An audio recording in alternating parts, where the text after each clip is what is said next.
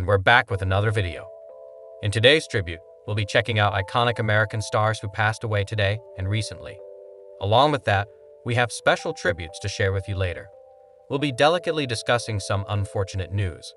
Legends who somehow contributed to their respective work, but unfortunately passed away today. We extend our condolences to their families during this time of great sadness. May God welcome them with open arms. Goodbye. But first, we ask that you all show your love and support by giving this video a thumbs up. Mike Lynch, tech mogul acquitted of fraud, dies at 59. The British entrepreneur was found not guilty of fraud charges in the sale of his company to Hewlett Packard. He was celebrating his acquittal when his yacht sank off the coast of Sicily. Mike Lynch, a British software mogul who was once celebrated as a top technology leader, only to spend more than a decade defending himself against accusations that he orchestrated one of the biggest frauds in Silicon Valley history. Died on Monday after his yacht sank off the coast of Sicily. He was 59. An official in the Italian city of Palermo confirmed on Thursday that Mr. Lynch's body had been recovered by divers. Twelve guests and ten crew members were on board the yacht, the Bayesian, when it went down during a violent storm. Mr. Lynch's wife, Angela Bacares, was rescued along with nine crew members and five other passengers. Seven bodies have been recovered, including one thought to be that of Mr. Lynch's daughter, Hannah Lynch. Mr. Lynch's death came two months after he was acquitted in federal court in San Francisco of criminal fraud charges tied to the $11 billion sale of his company, Autonomy, to Hewlett Packard in 2011. The takeover, widely regarded among investors as one of the worst deals in history, led HP to accuse Mr. Lynch of deception. Prosecutors in the United States charged Mr. Lynch with more than a dozen counts of fraud and conspiracy related to the deal, with a potential sentence running to about two decades in prison. On the day in 2023 that a British judge found him liable for civil fraud in the matter, the British government, despite numerous appeals by Mr. Lynch, approved his extradition to the United States. He was confined to a townhouse in San Francisco under 24-hour surveillance on his own dime. During his house arrest, his mother, Dolores, and his brother Richard died. The accusations sullied the reputation of Mr. Lynch, who was known at one point as Britain's Bill Gates. Michael Richard Lynch was born on June 16, 1965, to Michael and Dolores Lynch, working class immigrants from Ireland, and grew up outside London. He attended private school on a scholarship and graduated from Cambridge before founding Autonomy in 1996. The company helped clients analyze unstructured information to unearth hidden insights about their businesses. By 2011, Autonomy had become one of Britain's most prominent technology companies, with its home base sometimes called Silicon Fen, a name derived from its location at the southern tip of the Fenland, a marshy area in eastern England. Mr. Lynch became a celebrity in British tech circles. He was a member of the Royal Society, one of the country's top scientific associations, an advisor to David Cameron, the Prime Minister at the time, and a member of the BBC's board. Autonomy drew the attention of HP, which had sought to transform its fortunes by buying a high powered software company, and which eventually paid 60% over the British company's market value. But investors and analysts opposed the deal, and HP wrote down the value of the transaction by $8.8 billion. HP fired the chief executive who led the deal, and soon after, Mr. Lynch himself. Meg Whitman, the former eBay leader who took over HP, accused Mr. Lynch and his lieutenants of serious accounting improprieties at misled her company over the state of Autonomy's business. But Mr. Lynch, armed with the hundreds of millions that he collected from Autonomy's sale, hired an army of lawyers to argue that HP had been aware of the company's practices. His team also said that Mr. Lynch had largely delegated the company's day to day financial operations. Mr. Lynch's trial began in San Francisco in March.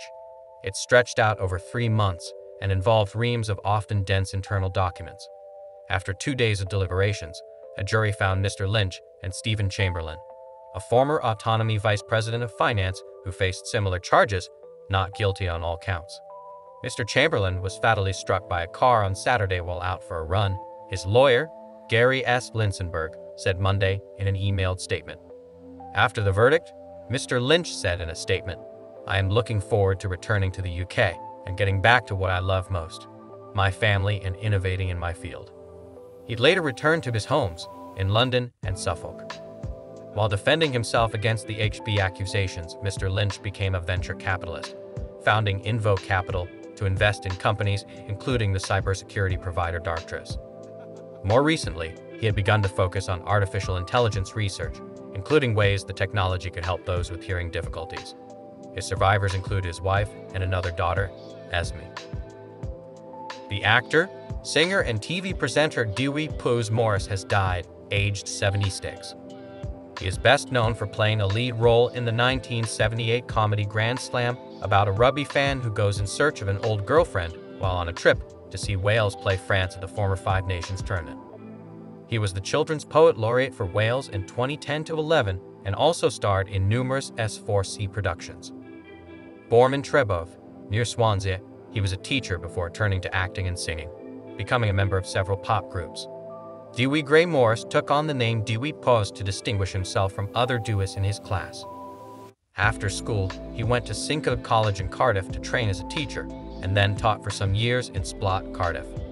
But he soon discovered teaching was not for him. Moving into the world of entertainment after being asked to write a pantomime for a Welsh theatre company, from there, more acting roles. Folty played Wayne Harries from Pobl y Cwm's debut in 1974 until 1987.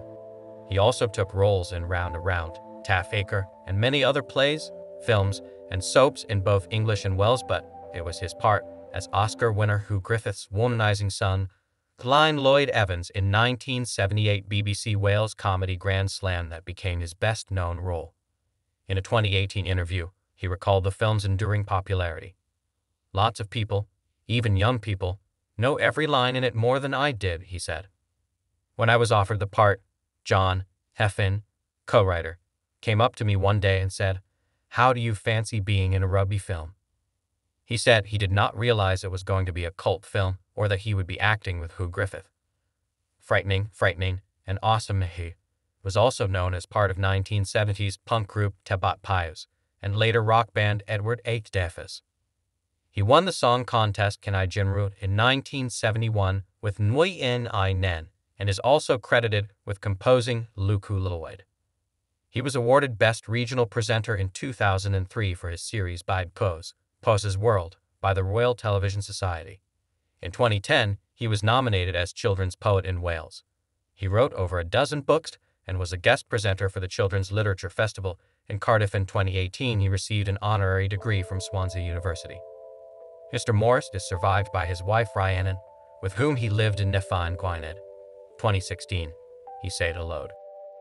Longtime TV talk show host Phil Donahue died on Sunday night following a long illness, his family said. He was 88. Donahue died at his home surrounded by his family, including his wife of 44 years, actor Marlo Thomas, his sister, his children, his grandchildren, and his beloved golden retriever, Charlie, his family said in a statement to TODA no further details about his cause of death were released. The third hour of Today's Craig Melvin and Sheinelle Jones announced the news of Donahue's death on Monday morning. You know, we overuse sometimes the word trailblazer, but he certainly was, indeed, Sheinelle said. The journalist pioneered the modern format of issue based daytime talk shows featuring audience participation. His show would become one of the most influential programs of its time, with Donahue winning nine Daytime Emmy Awards for Outstanding Donahue, was born in 1935 in Cleveland and began his journalism career working in radio in the 1950s. Donahue married his first wife, Margaret Mary Cooney, in 1958, and they had five children. The pair divorced in 1975. He began hosting TV's The Phil Donahue Show in 1967 in Ohio with a live studio audience. The show was syndicated a few years later and would move to Chicago before making its home in New York City in 1985. The final episode of the show, which had been renamed Donahue, aired in 1996 after a 29 year run. Donahue met Thomas while filming an episode of the show in 1977, and the pair later said in interviews it was love at first sight. The couple married in 1980. In addition to hosting his eponymous show, Donahue regularly appeared on TLBA from 1979 to 1988 Thomas, an Emmy winning actor and National Outreach Director for Street Jude Children's Research Hospital, has also made appearances on Toby Day.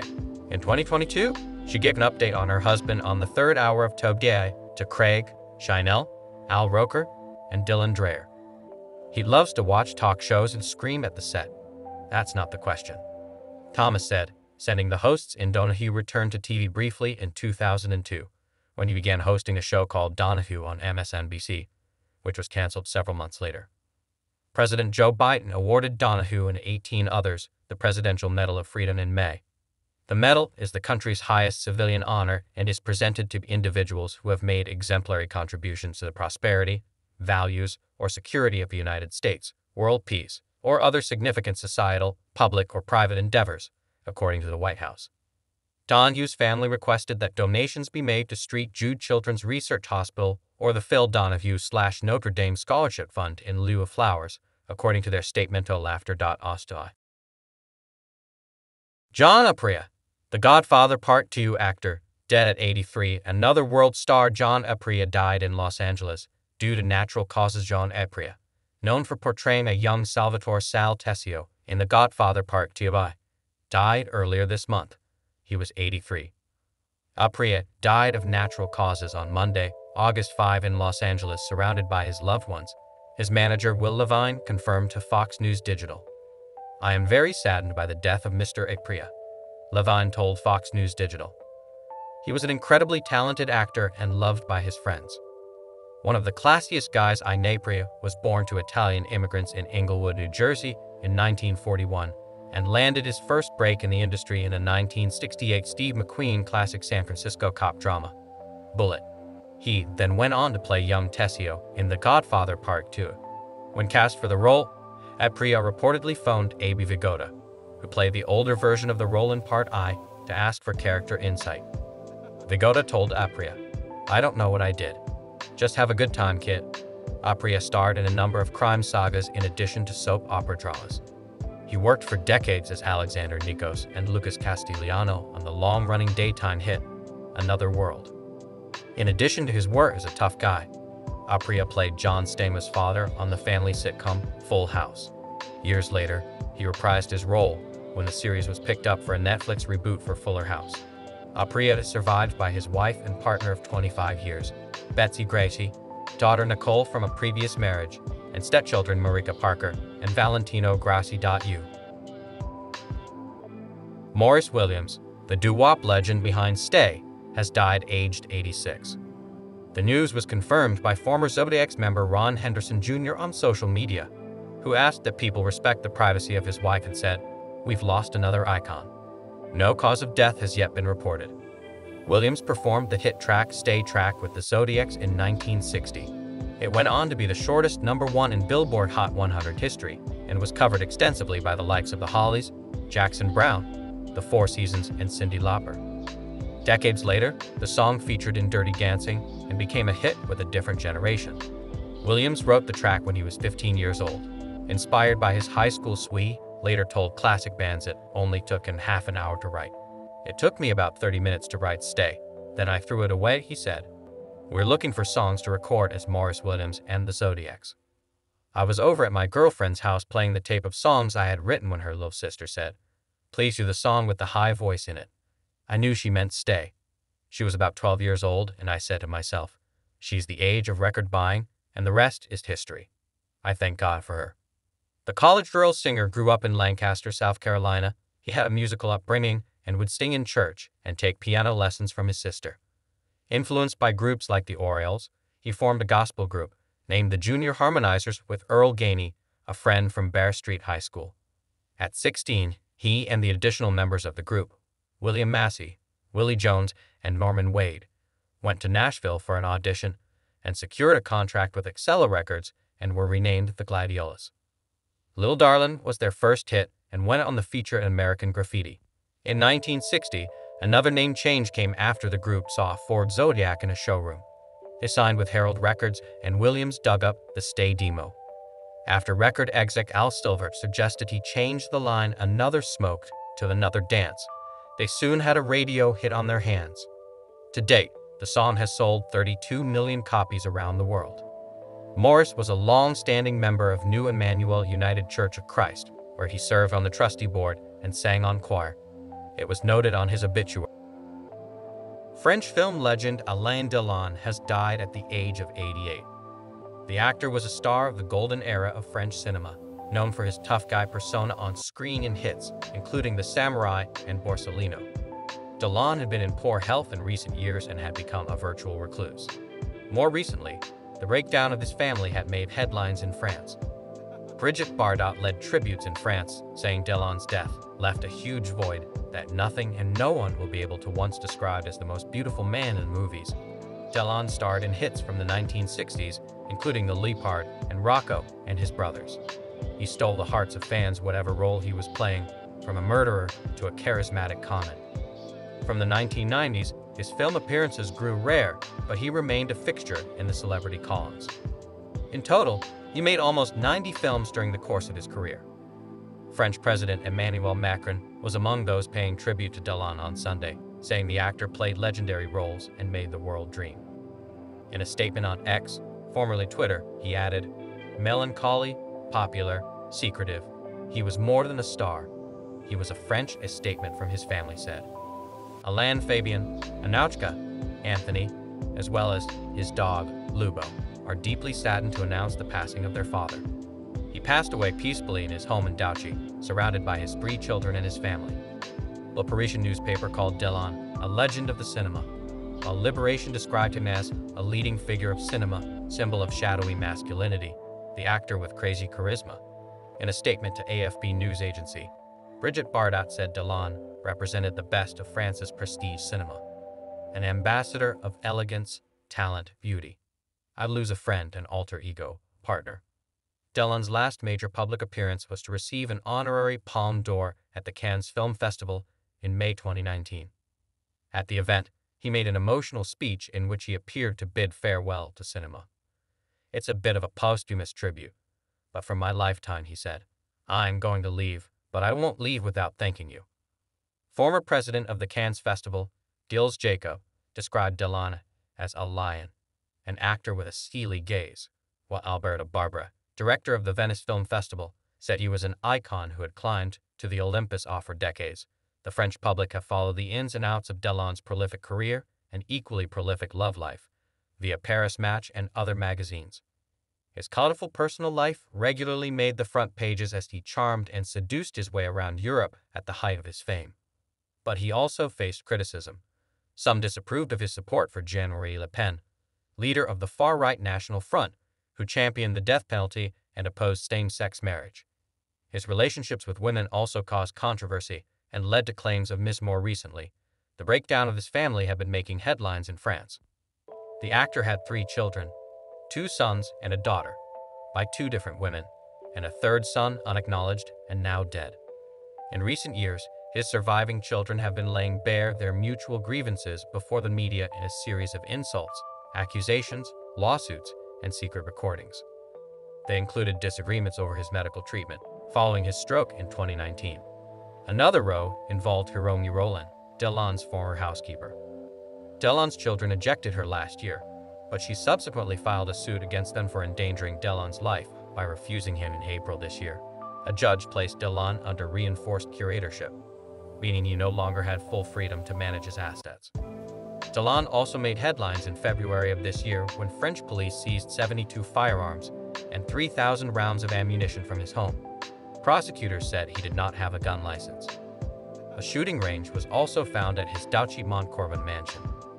BBC News has contacted Delon's representatives, Medicines Augenis, the Immortals Monument, Phil.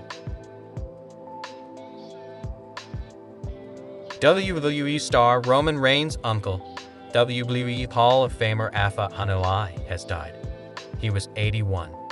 The retired wrestler's daughter, Val Anoa'i, shared the news via X on Friday, writing, Today, all of our lives are irreparably changed. I love you so much, Dad more than any words could ever express. Your strength was absolutely superhuman. You fought all the way to the end, and the end was peaceful. That's all I could have hoped for. Val explained that she had just received the phone call from her mother, Lynn Anoa'i, that her beloved father, the center of her universe, had passed away. She marveled that she got to spend the vast majority of her life right there by his side, through the best of times and the hardest of times, going on to thank him for every priceless life lesson he taught her and for being someone who cared always. Though devastated, Val is admittedly not shocked as Afa had faced numerous health issues in recent months. I've been preparing to say goodbye to my dad since January when he had those two heart attacks. I was prepared to say goodbye to him in March when he fell and broke his back in two places and had to have major surgery. I was prepared to say goodbye to my dad when he had his heart valve replacement surgery. She confessed that I was prepared to say goodbye to him when he was having the second back surgery. I was prepared to say goodbye to my dad when we had to tell him the news of Uncle Sika's passing. Hall of Famer Sika Anoa'i, Afa's brother and partner in the legendary Wild Samoans tag team, as well as Reigns' father, died in June at the age of 79.